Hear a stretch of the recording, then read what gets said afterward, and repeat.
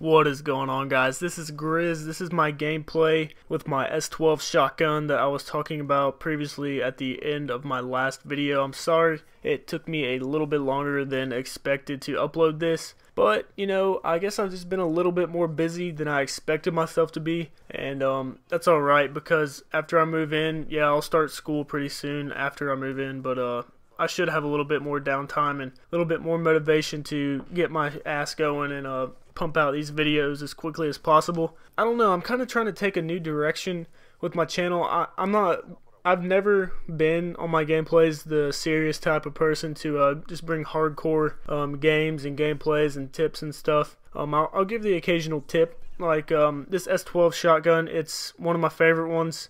Actually, it is my only favorite shotgun to use, and I'm using the KSG right now, trying to get it diamond, uh, golden, so I can get all my shotguns diamond. And uh, I do not recommend that gun. it is a fucking terrible shotgun. I mean, there's probably some people that are good with it, but I still gotta figure out how to get some bloodthirsties with it, and that thing is just driving me crazy. But with this S12, I recommend using a long barrel, uh, the laser sight, and um, extended mags on it. Um, when, it. when it's stock, when you first start using it, it doesn't have very much range on it at all, and it can be kind of frustrating. But once you get that long barrel, you can shoot pretty, uh, shoot enemies from pretty far away. I'm not using the extended mags in this one, I don't think because when you're using them you have 14 extra uh, shells instead of 10 so it, it, actually helps out a lot when you're trying to spray somebody from far away. But if you're going to use a shotgun I recommend using this one. It's my favorite one.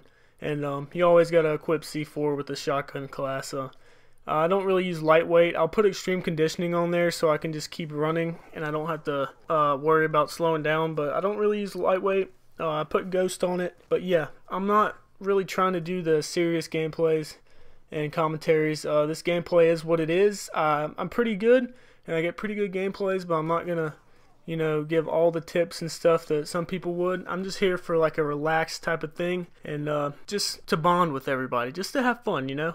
Uh, I'm using Stealth Chopper VSAT and dogs. It's a pretty good setup to get your dogs easily if you don't want to go straight to the VSAT. But um, currently, I'm using, not in this gameplay, but in actual real life, I'm using the uh, VSAT Dogs and Swarm, which is pretty much the ultimate uh, score streak setup you can use. And that's what a lot of people use when they play Domination, but uh, we, as in the people I play with, actually use it on our kill confirm because we're, we're pretty good when we play with each other.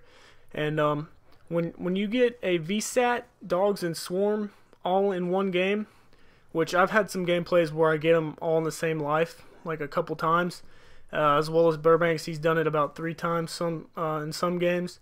Uh, it's pretty much game over no matter who you're playing against. So um, I, I do run into a lot of people using UAVs uh, and counter UAVs, but on the other team. It's kind of newbie. I like to go for the high ones, but it is what it is. This gameplay got cut off from theater mode at the end, so it's going to end right here. It sucks, but take it easy, guys. I'll have more for you soon. Stay classy. Hey, I got these Ray-Ban shades, kind of look like something landed with rock. It seems like now I got a couple bags whenever I shop. Louis shoes, polo socks, some name brand dumb shit. Logo never...